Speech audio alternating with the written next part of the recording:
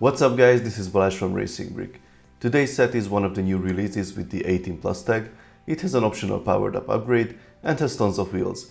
This is the 10277 Crocodile locomotive. As you see, the box has the new simplified design that replaces the brighter tone of the previous Creator Expert sets. It is very serious, very dark, but I'm not sure if the 18 plus label is really required here. Anyway, the box looks cool. We see the locomotive on the stand on the front and the custom logo with the set number and the name. The whole look is very classy, although it does not provide too many information, and apparently the black surface is very sensitive to scratches. We don't get too much information either on the back this time. The dimensions of the set with the stand is there. It's quite impressive as it is more than half a meter long. There's also some information about the optional motorization. We need the set itself, a powered up hub, you know the AAA one that is simply called the hub, a Technic L motor surprisingly, and the powered up app. So let's open the box. The set has 1271 pieces, the price is 99.99 euros or dollars, and it will be available from the 1st of July. There are 9 numbered bags inside, splitting the building into 4 phases. There's an unnumbered one with some plates and the wheels, and the building instructions with the sticker sheet. The sticker sheet has a single big sticker, this is for the plaque on the stand with some information about the original Swiss crocodile locomotive. The manual has the same design as the box. It has a QR code that guides you to the LEGO instructions app, but unfortunately the digital instructions are not yet available before the release date. It's nice to see some extra information about the original locomotive on the first two pages, and again a list of the required elements for demotorization. After that the building process can start with the base, but let's stop for a second here. I totally get the serious black look of the box and I really like it, but this black background in the instructions was quite shocking for the first sight. I'm not sure about the printing technology, but first of all it seems to be a total waste of ink, but that's not the biggest issue here. This set has mostly black and reddish brown pieces, and as you see the black pieces are somewhat visible because they get a bright white contour, but the reddish brown pieces are almost invisible. It is actually better on the photo than in real life, I can't literally see anything from the distance of 1 meter with two bright video lights next to me. At some stages it gets better because there are pieces with brighter colors, but choosing this background for this set was a huge mistake. I'm not even sure why it has to be black. The Haunted House, which is also an 18 plus set, has light grey background in the instructions, so it's not an obligatory choice for these sets. The A-Wing Starfighter, which is also an 18 plus set, has similar black instructions, but it has mostly brighter pieces and the dark red is more visible there as well, at least in the online version. I really hope LEGO will do something with this, maybe the digital version will be better, but I think this paper version needs to be changed. So, after this small intermezzo, let's start the building process. The first thing to assemble is the base. You might not realize it immediately, but the size will be very impressive. The build itself is not the most exciting one, especially when you need to build the railroad ties with all those tiles and tiny little one by one plates. Once finished, it's actually pretty sturdy. I'm sure you can pick the whole thing up with the locomotive on it. Here are the parts from the second batch of bags. Since the only sticker was already used, everything else will be printed, which is a very nice extra, apparently becoming a trend with the 18 plus sets. There are a few lime green pieces, but the color seems to be consistent this time. The build of the locomotive starts with a drivetrain. All four wheels will be driven through a set of Technic axles and gears. The traction of the wheels is improved with rubber bands. Not sure how common this is with other LEGO train sets, but apparently it works well. This is how the base of the Sentra unit looks like with the wheels added. Again, some nice printed parts and a clever usage of the handlebars.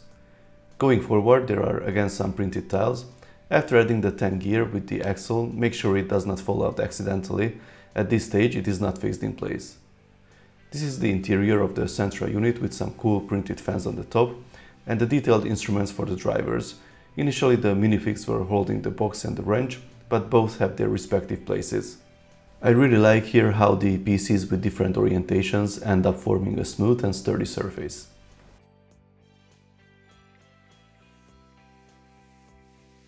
3 has the window piece in it that was only available previously in black, blue and white, so train and boat builders will be happy for sure seeing it in a new color. The two pantographs are quite detailed but not too bulky. I really like the part usage. If you take a closer look, we have binoculars, claws and a whole bunch of other pieces. The assembly is a bit tricky, but the end result looks very nice. After finishing the roof, the Sentra unit is completed. Back 4 has the majority of the pieces, we need to build the two ends of the locomotive that are symmetrical. I suggest to build them simultaneously, although you need to pay more attention to the quantities. Since uh, similar pieces are located at the same location, it is easier to find them in one take. The orientation of the wheels is a bit tricky. First I mounted them symmetrically, but as the instructions show you on the next page, they need to be rotated by 90 degrees compared to each other, so I had to correct this. This is how the proper orientation should look like. An unusual appearance of black sausages can be seen here, and here we have some cool SNOT building. I thought these panels will be flimsy with the technique used, but once they are in place, the construction is quite sturdy. These units are finished, so all we have to do is to connect everything. These are the final steps of the build. I did not measure exactly the building time, but it should be between one and a half and two hours. Here are the extra pieces. I'm not sure about that slope. Usually there are no such pieces among the additional ones, but I could not see it missing anywhere. So here is our locomotive on the stand. I would say it is quite impressive, it has lots of details and can be a very nice decoration on any desk or shelf.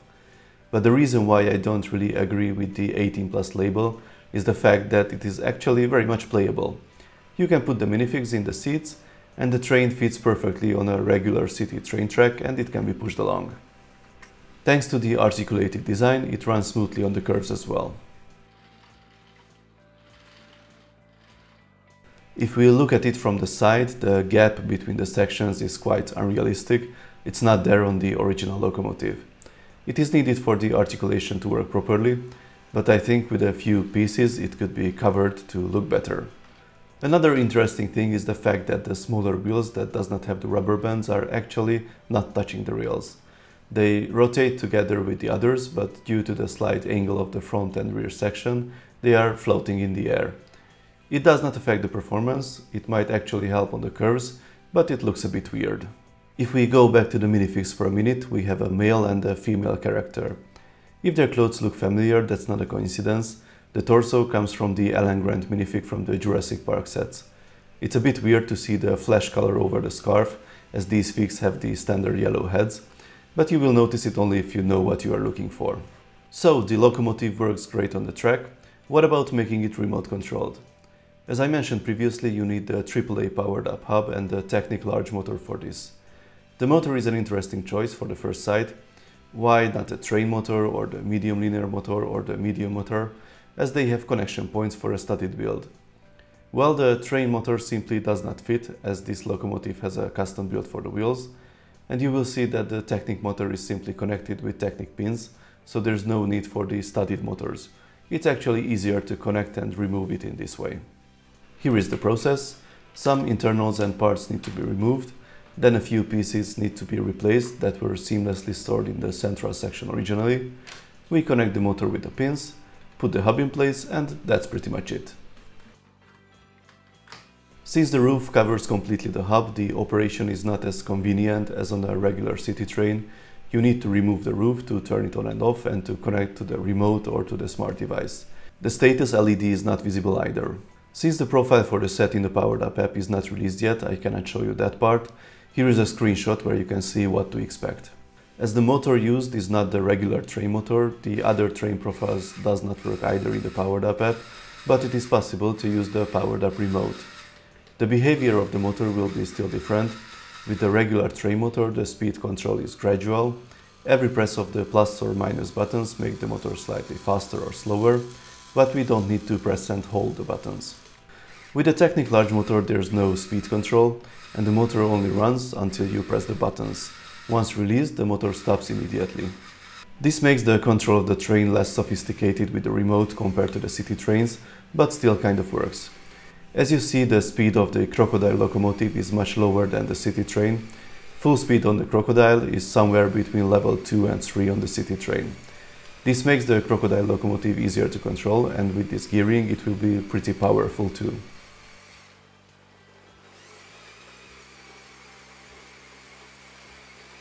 Apart from the remote, the free coding area of the Powered Up app is also available for control. I previously created a custom train control profile with the two slider interface and it works perfectly with this train as well. Click on the link in the top right corner or in the description for more details about this custom control profile. It would be also possible to create a code for the powered up remote that replicates the behavior of the train motor. Let me know in the comments if you would like to see that. So to sum it up, I think this set was a great surprise for everyone. We did not expect any trains outside of the LEGO City World. It's a nice building experience, has many details and looks great on the stand. With the motorization option it is also very playable and can be used in any city train layout. For me the only negative point about this set is the black background of the instructions, but that can be fixed in the digital version easily and if there's a demand, I'm sure LEGO can change the physical one as well. Let me know in the comments your thoughts about the set, do you like it or not, would you play with it or simply use it as a display piece. If you like this video then please give it a thumbs up, you can also subscribe and tap the notification bell if you don't want to miss my Technic reviews and other LEGO RC videos. See you next time, bye bye!